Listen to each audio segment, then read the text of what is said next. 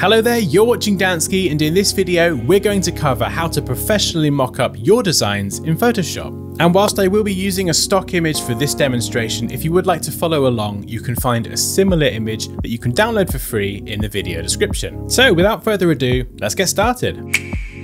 So to start with, I've opened the JPEG in Photoshop and I'm going to select the rectangle tool, click anywhere and enter the dimensions of my design. So this is 375 by 812 for the iPhone and I'm going to set the stroke to none and give this a bright color fill. It doesn't matter what color. Next, I'm going to move this into the middle and you can see it's a little bit too small. So I'm going to right click this in the layers panel and select convert to smart object. Now I can double click this and go inside the smart object. Go to image down to canvas size and then after these values type asterisk 3. This is going to multiply these dimensions by 3 times. And I'm doing this because I have a high res photograph and I want my design to be nice and crisp. So I'm going to scale this up proportionally and then save this file and jump back to the main document. And you can see it's now got a lot bigger and I can actually resize this in here as well by going to edit and down to free transform. Hold shift and scale from one of the corners, and you can also hold alt or option to scale to or from the center.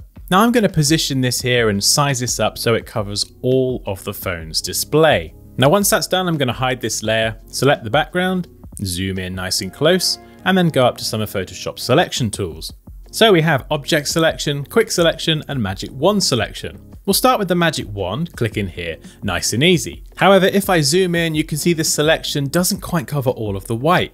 So I'm going to go to select, modify and expand, start with a small value and gradually expand this out by one pixel at a time, just until we're covering more of the white. Now when I mask my design, I don't want the edge to be too hard, so I'm going to repeat this but instead go to feather, and select one pixel. This will soften the edge ever so slightly and just gives it a slightly more realistic look. Next, I'm going to zoom in and select the quick selection tool. Photoshop did a pretty good job with the magic wand tool, but we just need to refine this selection here just to help it out with the finger a little bit. This takes a few seconds, just check around the edges. Yep, all looks good.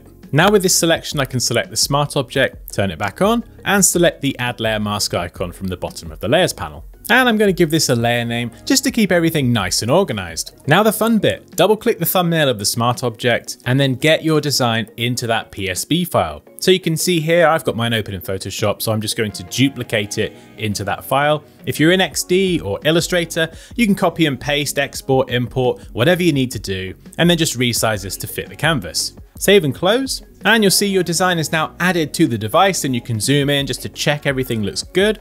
We can turn it off or back on for no apparent reason. And the beauty of this is you can double click the smart object, make changes, add new designs in, save and close, and it will update that in the main document. And there we go, that wraps up the video. So if you did enjoy this one, please remember to like, comment, share, and subscribe for more. Take care, and I'll see you next time.